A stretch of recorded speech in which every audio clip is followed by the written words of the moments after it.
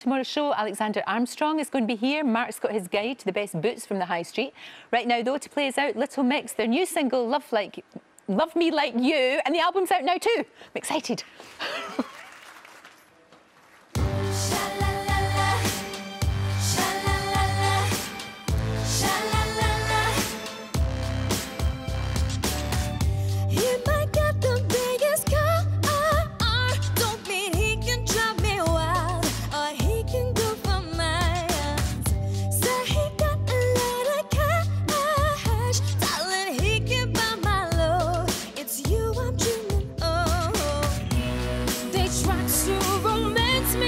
but you got.